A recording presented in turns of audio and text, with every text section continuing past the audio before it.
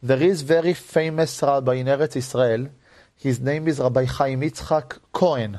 Very, very fa- famous rabbi in the Hasidic world. For many, many years, he used to be the menahel of Mosdot Sadigura, Hasidut Sadigura Institute.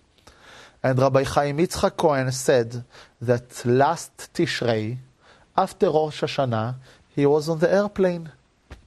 And he saw a Litvish man on the airplane. He asked him, Shana Tova, hi, what's your name? He told him his name. Rabbi Chaim Yitzchak Cohen told him, where are you coming from? He said, I came from the Rebbe, from the kever of the Rebbe Milubavitch, Zecher Tzadik Vekadosh Livracha. Rabbi Chaim Yitzchak Cohen looked at him and he told him, you're not Chabad, you, and you look 100% Litvish. What's the connection, you and the Rebbe Michabad? He told him, listen to the story that happened to me, the guy said. I was married for 10 years. I did not have kids. I did not have kids at all. My wife and I decided that we're going to get divorced.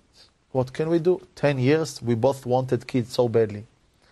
Night before the get, in the middle of the night, my wife woke me up. And she asked me if I ever embarrassed the Rebbe Milubavitch. And I told my wife, yes, I learned in Ponovich, very famous yeshiva in Bnei Brak. And one time we had Purim Rov, and I was the Purim Rov, and I made fun of the Rebbe Michabad. His wife, the guy said, his wife told him that the Rebbe Milubavitch came to her in the middle of the night, and he told her, don't go to Bet Din tomorrow, don't even think to start the process of get. Tell your husband to come to my kever in New York, and he should ask for me mechila, and I promise you, you will have kids. I told, my wife told me the story, and I couldn't believe. I did not believe. I went to sleep. When I went to sleep, after a couple of minutes, the Rebbe Michabad, the Lubavitch Rebbe, Zecher Tzadik Livracha, came to me in the middle of the night. And he told me exactly same words. My dear son, don't go to Bet Din tomorrow. Take flight, take the airplane, come ask mechila from my and next to my kever, and Bezrat Hashem you will have a kids. And the guy said that he told himself, I tried everything already. I did not leave even one rabbi in Eretz Israel that I didn't go. There is not even one doctor that I didn't go to try to do something with him. Of course, I will try whatever the Rebbe Michabad told me.